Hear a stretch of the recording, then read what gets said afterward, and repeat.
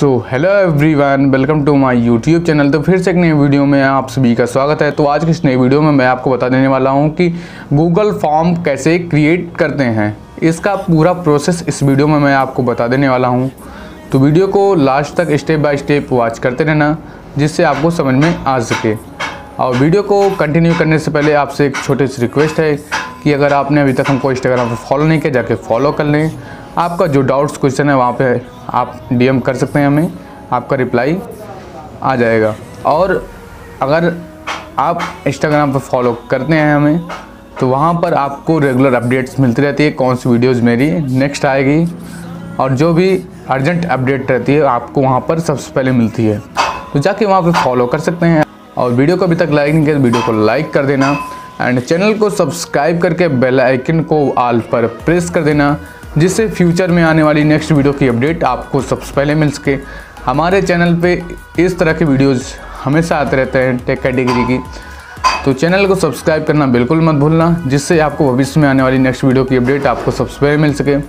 चलिए फिर वीडियो को इनसे कंटिन्यू करते हैं, ले चलते हैं आपको अपनी मोबाइल स्क्रीन पर तो यहाँ पर गूगल फॉर्म क्रिएट करने के लिए सबसे पहले हमको चलाना होगा क्रोम में। तो क्रोम में जैसे ही हम जाएँगे तो यहाँ पर हमको सर्च टैब में सर्च करना होगा गूगल फॉर्म क्रिएट तो कुछ इस टाइप से आपको टाइपिंग कर लेना है गूगल फॉर्म क्रिएट जैसे इसको आप क्लिक करेंगे तो फ़र्स्ट वाली वेबसाइट पे आपको क्लिक कर देना है। तो यहाँ पर पर्सनल के लिए गो टू गूगल फॉर्म्स पर जैसे हम क्लिक करते हैं तो यहाँ पर गूगल फॉर्म खुल जाता है एडिट करने के लिए। उसके बाद यहाँ पर डेस्कटॉप साइड डाउन कर लेते हैं, जिससे आपको अच्छी तरीके से समझ में आ सके। यहाँ पर कुछ नीचे डेमोज दिए रहते हैं टेम्पल्स तो आप यहाँ से भी कर सकते हैं, देख के जैसे कि यहाँ पर लिखा हुआ है सेकंड वाला कॉन्टैक्ट इन्फॉर्मेशन और यहाँ पर काफ़ी सारे डेमोज दिए हुए हैं टेम्पल्स दिए हुए हैं। मतलब यहाँ पर हम कॉन्टैक्ट इन्फॉर्मेशन जैसे क्लिक करते हैं तो हमारे सामने कुछ इस तरह का फॉर्म खुल जाता है क्रिएट करने का। तो यहाँ पर हम इसको क्रिएट कर लेते हैं। सबसे पहले यहाँ पर देखते हैं तो यहाँ पर मैं अपना हेडिंग डालता हूँ, जो कि जिसके लिए फॉर्म ये बन रहा है। तो यहाँ पर जैसे मार्केटिंग बिज़नेस तो इसको हम जैसे पहले यहाँ पर टाइपिंग कर लेंगे। इसको टाइपिंग करने के बाद नीचे नेम का ऑप्शन आ जाता है फॉर्म में भरने के लिए। क्योंकि जो वेबसाइट पर ये अपना फॉर्म वहाँ पर रखे रहोगे, वही एप्लीकेशन में शो करता है। तो उसके बाद यहाँ पर अपना इसको कर लेंगे। उसके बाद नीचे आ जाता है नाम। जो जो आपको डॉक्यूमेंट्स लेना रहता है, वहाँ पे उसको आप ऐड कर सकते हो। जैसे कि नेम हो गया फिर उसके बाद यहाँ पर नीचे चले आएँगे। ईमेल का ऑप्शन दिया रहता है तो यहाँ पर एड्रेस का है फ़ोन का है कमेंट्स का है। कमेंट्स का ऑप्शन अपना हटाना चाहते हो तो हटा सकते हो। यहाँ पर कोई और भी ऑप्शंस लगा सकते हो। जैसे इसको हम कट कर देते हैं फ़ोन नंबर का ऑप्शन आ गया है ये। और ये सब इन्फॉर्मेशन इसमें डालने के लिए ये फॉर्म आपका इतना क्रिएटिव हो गया। और इसमें ऐड करने के लिए आपको पहले इस प्लस वाले आइकन पर जैसे क्लिक करते हैं, बगल में जो दिया है, यहाँ पर फिर आपको जो डॉक्यूमेंट्स लेना रहेगा उनसे, जैसे कि जेंडर हो गया जेंडर में यहाँ लिखा हुआ है मेल फीमेल एंड अदर तो यहाँ पर आप जेंडर जैसे लिखते हो उसको कर देता है। मेल फीमेल एंड अदर उसके बाद यहाँ पर फिर प्लस वाले आइकन पर जैसे क्लिक करेंगे, कुछ इस टाइप से। फिर एक फॉर्म क्रिएट हो जाएगा। उसके बाद इसमें भी आप अपना जो डॉक्यूमेंट्स लेना चाहते हैं, वो यहाँ पे डाल सकते हैं, कुछ इस टाइप से। तो ये फॉर्म इस टाइप से कुछ आप अपना क्रिएट कर सकते हैं। जैसे कि यहाँ पर जो टाइपिकली क्वेश्चन होता है, जैसे बहुविकल्पीय टिक करने वाला तो उस टाइप से यहाँ पर उसको भी ऐड कर सकते हो। ये ऐड करने का ऑप्शन आ गया आपके सामने, जैसे कि आधार कार्ड।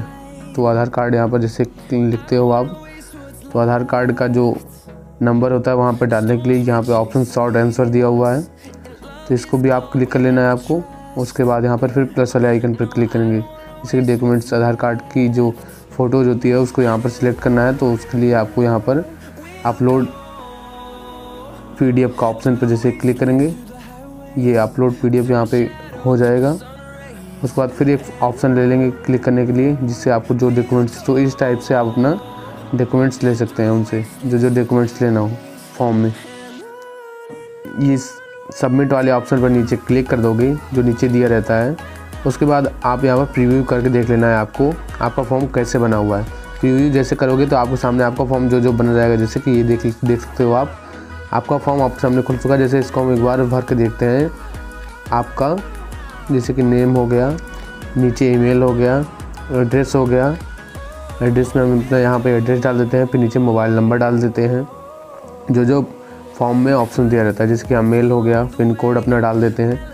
जो फॉर्म हमने क्रिएट किया था, वो फॉर्म यहाँ पे भर दे रहे हैं एक बार। डेमो देखते हैं कि ये फॉर्म का आंसर कैसे आता है हमारे मोबाइल में।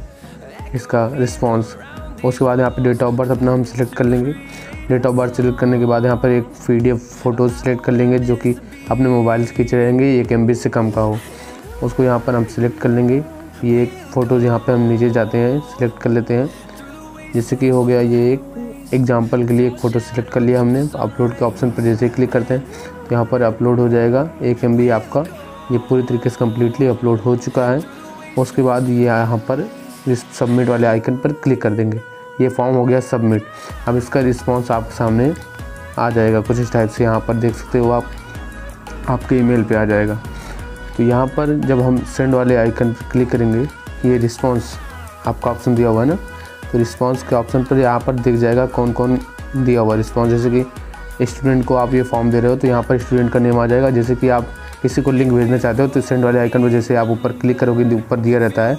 तो यहाँ पर ईमेल जो ऑप्शन दिया अगर ईमेल डाल दे रहे हो तो आपका जो रिस्पांस आएगा, वो आपके ईमेल पे डायरेक्टली आ जाएगा, क्योंकि बार बार कोई गूगल खोल कर देखते नहीं रहता। और लिंक की बात रही तो लिंक यहाँ पर क्लिक कर देंगे और यहाँ पर कॉपी कॉपी कर लेंगे कॉपी जैसे करते हैं, उसके बाद लिंक किसी को भेजेंगे, तुरंत ये फॉर्म वहाँ पर खुल जाएगा। तो कुछ इस तरह से इसका प्रोसेस है तो आप लिंक भेज के काफ़ी सारी मदद इससे ले सकते हैं लॉकडाउन में। आशा करता हूँ ये वीडियो आपको पसंद आई होगी। वीडियो पसंद आई है तो वीडियो को लाइक करना है चैनल को सब्सक्राइब करके बेल आइकन को ऑल पर प्रेस कर देना जिससे फ्यूचर में आने वाली नेक्स्ट वीडियो की अपडेट आपको सबसे पहले मिल सके। चलिए फिर मिलते हैं किसी नेक्स्ट वीडियो में किसी क्वालिटीदार वीडियोज़ के साथ। जय हिंद बंदे मातरम।